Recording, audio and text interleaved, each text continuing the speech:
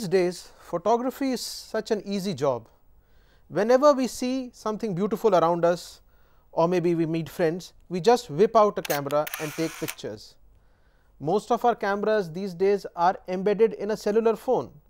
So, we do not even need a, even a proper camera, we just take out a camera and go click click click. Have you ever tried to imagine that how exciting it would have been for people to have been photographed for the first time?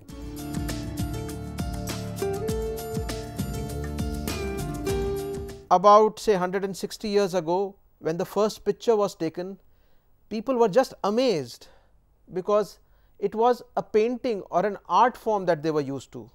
People used to go to studios to get their pictures painted. The sketch may take days or months to complete and then suddenly came this technology where you had to sit frozen for maybe a few seconds or a minute and your picture was created.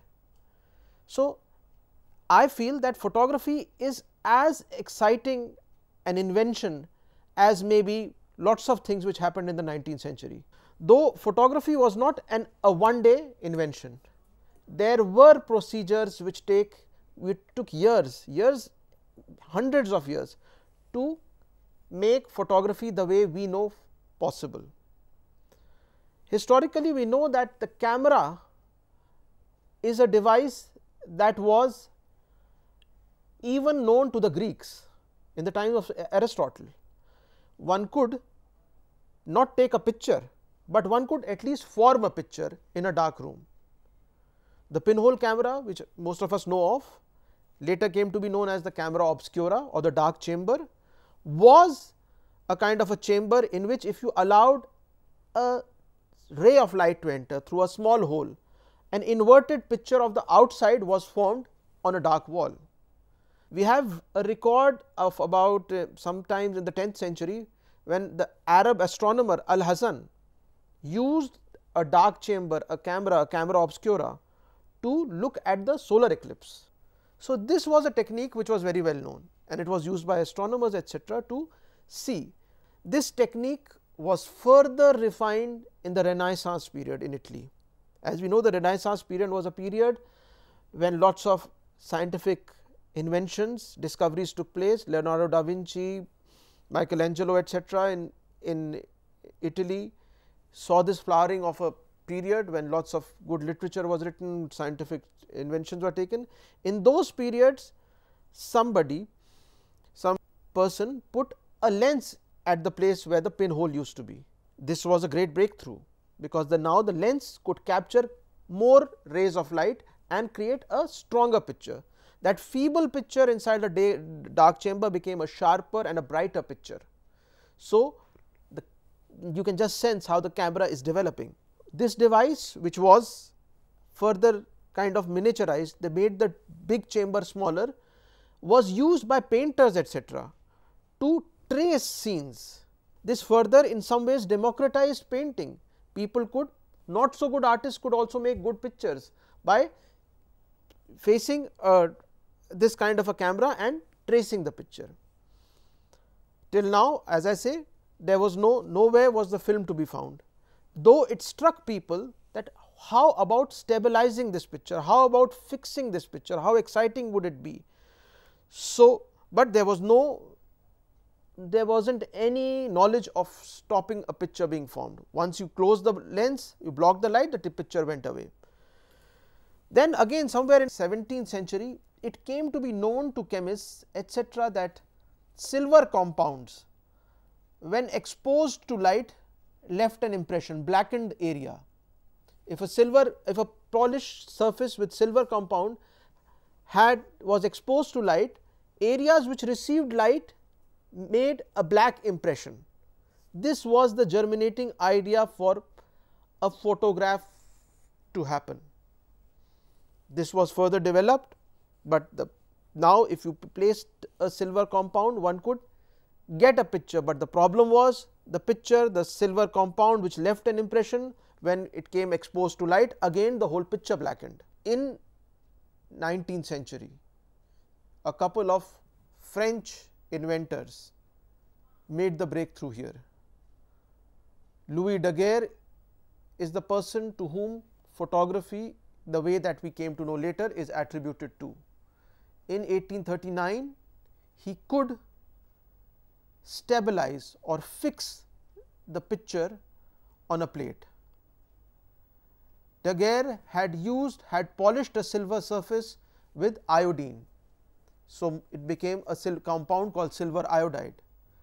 When he exposed this plate the picture a latent image of the picture was formed. A latent image is a picture where you cannot see the picture, but the picture has left its impression on a plate. Right now, you can't expose it to light, you can't even see it.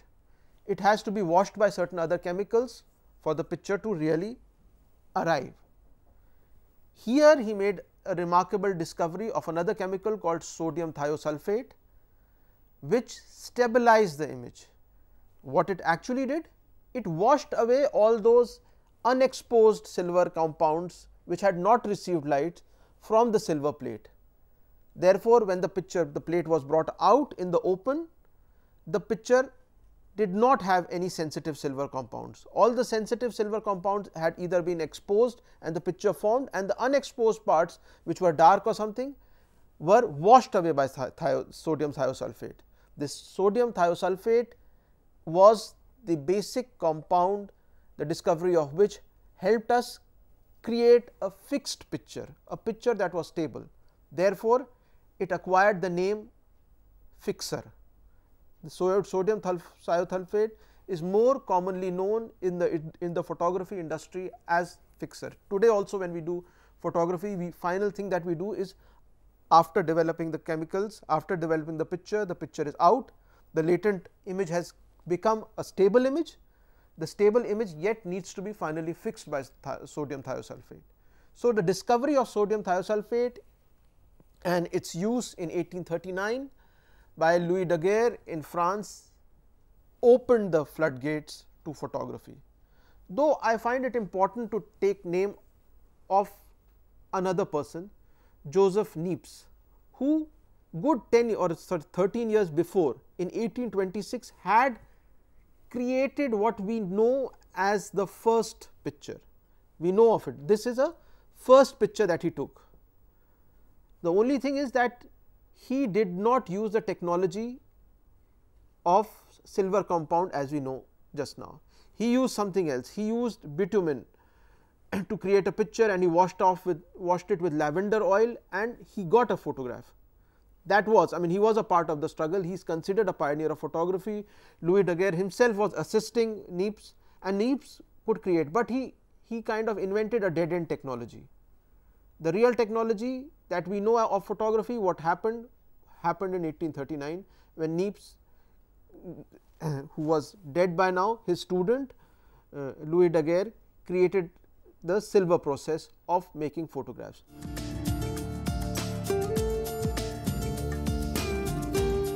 After 1839, we had a whole new long era of silver compound based photography.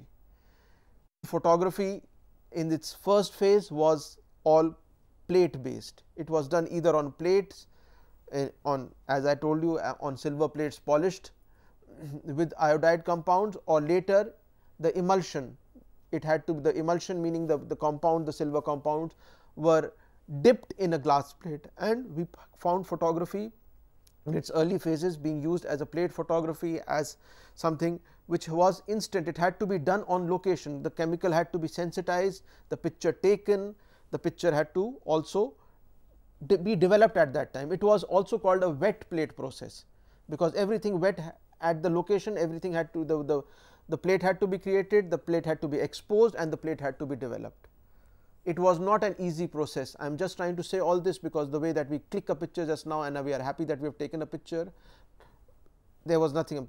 It took a long, long time and it was a cumbersome process to make a photograph. The first revolution in photography and yet I mean the camera itself was a big object. It was a huge box which was only which could only be placed onto a tripod or a stand. The scene had to arrive or the subject had to arrive in front of the camera rather than the camera going places as it goes just now. Portraits were taken in the studio. Try to imagine this was also a time before electricity. Before. So, we had to be expo uh, we had to be totally dependent on exposure from the sunlight. So, photography had a very challenging first phase. It was a very difficult job and yet people traveled lands. Just give it a thought what kind of a uh, adventure photography was in its first thought when it brought distant scenes to people. People sitting in cities could watch landscapes and sceneries of faraway places, of faraway monuments. War scenes were recorded and brought to people. People started hanging pictures of their kings and queens in their houses. Living in the same city, they would have never known them, but photography brought them, brought prominent personalities, politicians, and monarchs into the room. Photography became available. We also started photographing each other.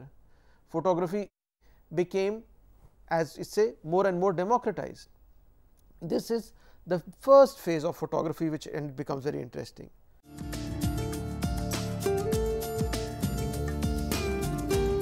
We are familiar with the name of Mr. George Eastman, who formed a first company of photography called Kodak somewhere in the 1880s. And why, why did he become so famous? He was a very shrewd businessman and he knew what photography would do in the future. He made the first plastic gelatine roll film. Earlier it was all plate photography, people had to take one exposure, keep it aside, put another plate. Now he developed a roll film. A roll film had many exposures and he put that roll film in, into a small box so, he made the camera smaller and he provided a plastic roll film with more than one or say 30 40 exposures. So, now the camera could travel out 1880s onwards the camera could travel out. So, he said his, his famous phrase is you push the button we do the rest. So, people used to go on trips on far off places amateurs started doing photography earlier it, it was a it was basically a domain of the professionals who were well trained scientists who could handle the equipment. Now, the camera could be carried by people like you and me on their travels, on their family functions, on various kind of uh, tours and they came back with loaded with images in a box, which they gave to the Kodak company. The Kodak company in its lab took out the this thing the, the roll film, loaded a new one and processed it and sent you pictures. Just imagine picture photography more and more and more photographs started taking place and the camera became a very useful gadget for the common man. Till now the photography before this was only restricted to the professional the person who had a studio. Now people were doing photographs day in and day out.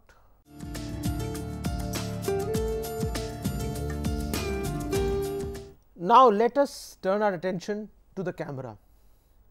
What is a camera? Camera is a dark chamber which forms an image. Today's camera is also a camera, a dark chamber which forms an image and records an image. We are interestingly living in the times where the second big revolution of photography has happened. The first I think happened when the film was discovered more than 150 years ago. Now, the recording medium itself is changing.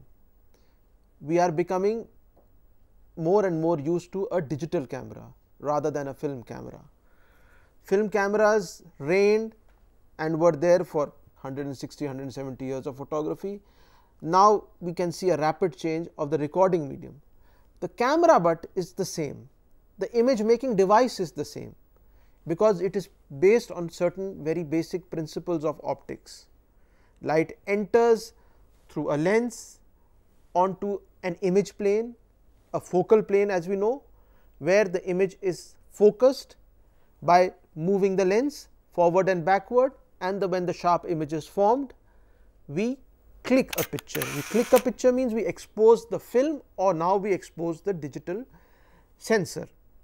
We allow this exposure to happen because we have to control the light. Light cannot keep falling on the film or the sensor. The light, the, the film or the sensor is a very sensitive medium. We should know the amount of light that it requires. So, in a dark chamber, when we click a picture by moving the trigger button, we open the shutter and close it. The shutter is an important device in a camera. A shutter is like a garage shutter. It opens and it closes, allowing the light to fall for a fraction of time, exposing the film or whatever recording medium that we are using. These days the film or the sensor is so sensitive to light that we in normal light in sunlight we expose it for as short a time as maybe 1 30th of a second, 1 60th of a second, 1 hundredth of a second. Historically early we had to do this exposure maybe for 1 minute to for 3 to 4 minutes. It is said the first picture took hours to expose, but now in modern times the films etcetera are so sharp, so sensitive to light that the camera the shutter opens fractionally and it closes. It is a precise equipment. Similarly, there is another equipment which controls the, the coming in of light that is the iris or we call it the aperture. Iris is like the pupil of the eye. It opens an opening that we open or close. It is like a tap. When we open the tap full, lots of water flows. If we open the tap a little bit, very small streak of water flows. So, we have to allow a certain amount of light to enter. The iris which is generally located inside the lens. I can show it to you in a lens. It is somewhere inside the lens embedded between the lens elements and the iris when we click opens and closes. Here you maybe you can see how the iris is opening when the when we do the exposure the amount of light is controlled by the aperture. The aperture is controlled by the iris whereas the shutter is is a, a separate device which in this camera as you can see now again opens and closes. The shutter is a device which allows the entry of light into the camera on the film. The shutter can I have removed the lens I can now you can see I can maybe most probably you can see my face through the shutter. The shutter is opening and closing. It is allowing the light to fall on the film. This is a film camera. If I the film was kept here, the film would re receive an exposure of light by opening and closing the shutter. So, the shutter and the aperture are two devices. The aperture here is in the lens, the iris is in the lens and in the camera body is the shutter which is allowing the passage of light. So, just to as a revision a camera is a dark chamber which with the help of a lens receives light, the lens happens to focus light to gather optimum amount of light from outside. By focusing the camera we can focus a sharp image onto the film plane. Right ahead of the film plane somewhere is a shutter which opens for an, a restricted moment of time and closes giving it an exposure. The other control to the light is provided by the aperture, the aperture is embedded in the lens and the opening of the aperture like the pupil of our eye allows a definite amount of light to travel in.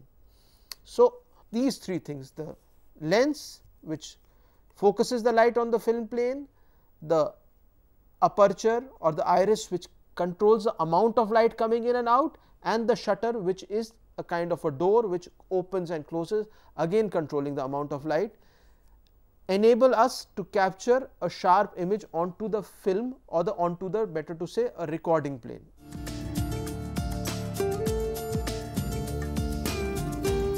Cameras have evolved over a period of time. As I mentioned earlier, the first of the cameras were big cameras. Gradually they miniaturized, they gradually when the film became more stronger as I had mentioned earlier the film was maybe a big sheet film. Gradually when the roll film was discovered it became smaller, one could take many an exposures and fit in the film inside a camera. The camera also became smaller, the camera became handled, the camera could travel here and there the camera itself evolved from a big camera to a small camera, but the beautiful part about photography is that the optics the principle of photography remained the same. We use the camera again in the same same way that we used it first time 160 years ago. Yes, it is now a more precision body, it use it has sharper lenses, it has more devices and gadgets to give us just the right exposure but as you can see here I have kept 3 different or rather 4 different lenses here. This is a digital camera. Here the recording medium is different. The film is being formed is being captured on a digital sensor, but the lens is there, the aperture is there, the shutter is there, only the recording medium is different. These are three film cameras, these two are rather older cameras, these cameras were much in use say 40 to 50 years ago, whereas this is a current camera, a current film camera. This is a film SLR, this is a digital SLR. SLRs are the most uh, commonly used professional level cameras uh, which are easy to use and are used by the professional world. What is an SLR? SLR stands for single lens reflex. Single lens reflex means a camera which is a single lens camera. You can see here there is a single lens even in the digital camera there is a single lens. Image is what we see is what we photograph. The image that I view from here this is place is called the viewfinder. I view the image from here, but to view the image I see the real image which will take the picture. This is possible because of a device inside a camera called a reflex mirror. A reflex mirror is a mirror which moves when I give exposure. It moves up and down. In a SLR camera when I take a actually when I take a picture the, the view gets blackened because the reflex mirror moves up and allows light to pass straight through through the shutter onto the film plane. Whereas, in other cameras in earlier cameras like this one a TLR this is a twin lens reflex camera where one saw the picture through the top lens, but one photo photographed the picture from the lower lens. This was used to view the picture. There is a ground glass, the viewing mechanism is here, I see a picture being formed here, but the picture that I click forms has an aperture and a shutter behind this lens. Big disadvantage here is I am actually not seeing what I am photographing, but I am seeing something slightly different, something a little above it. It makes when I take a close up, it makes viewing a bit difficult, because I am seeing 90 percent of the frame of the actual frame that is being photographed, because the viewing camera, the, the viewing lens is different from the taking lens or the film capturing lens, but the principle of photography is the same as I mentioned. All these cameras have a lens which is focusing the picture, they all have an aperture which is allowing the right amount of light to go in, they all have a shutter which opens and closes again controlling the amount of light falling onto the film or the sensor. So, photography in principle follows a same pattern everywhere, but there are various types of cameras. This is a twin lens reflex camera a TLR which was very much in use in the 50s and 60s and 70s. Then later came the SLR. The SLR was the was a photojournalist camera. It was a, a fast using camera because here you see a correct image also. You see what you photograph. Here you did not see what you photograph. Early there were also cameras like this range finder camera where the focus again you saw through here and you took a picture through here. So, there was a slight difference in the picture you saw, but ultimately the, the picture that you got was almost the same what from what you saw. So, cameras have evolved over a period of time and there are cameras specialized cameras for specialized jobs. The, that does not mean that there are only these kind of cameras, there are other cameras also, there are bigger cameras also. Still the commercial industry, the advertising industry uses big cameras called view cameras. They are cameras placed on bellows on a rail. They have a film surface, of uh, a film plane and a picture plane or an image. You use those camera those cameras are important because they use a, the same kind of an old not a plate film, but they use a sheet film like something like an x-ray sheet. The picture itself the negative or the picture comes is recorded on a very big surface. The principle being the bigger the picture surface, the film surface the crisper the better the resolution. You have to blow it up lesser. A small film has to be blown up many many times and once you expand the film many many times you start seeing grains and you start seeing spots the resolution the sharpness of the film decreases a camera which uses a bigger film even these cameras use a bigger film than a regular film that we know of which is used in as LS, uh, the single lens reflex camera.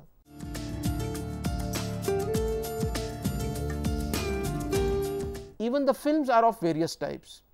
Cameras were or are still classified basically on three types on the three types of films. They are called large format cameras, medium format cameras and 35 mm film cameras. 35 mm film is the smallest that is the film that we know of. Bigger than this is another roll film which is a 120 film. The film size is much bigger it is 6 centimeters wide. It is loaded in these cameras and yet people use such films for professional work. The size being that is called a medium format size and then you have the sheet film variety where the smallest sheet film is bigger than a postcard 4 inches by 5 inches.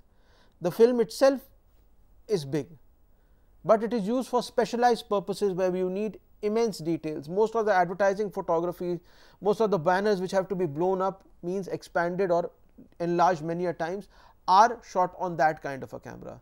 So, cameras have a classification in, in terms of their the films that are using a medium format camera, a large format camera or the smallest a photojournalist generally or an amateur uses a 35 mm camera. Now, with the com coming of the digital technology where the film is getting phased out, the sensor itself is complying to that size. The digital sensor itself there can be a a small format digital sensor, there can be a medium, medium format digital sensor or a large format digital sensor.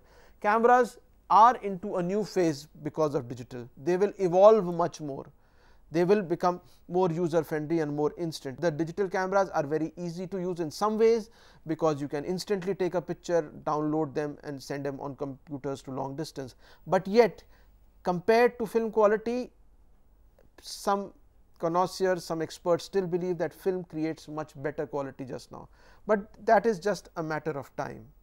Soon digital will surpass film altogether and the film will become a part of history. So, we have to look forward into the digital era. So, here we saw various types of cameras. I explained to you what the basic function or how a basic camera functions, which is the same as be it an old camera or a new camera digital era is coming and camera the recording medium has changed, but the camera shall still remain the same.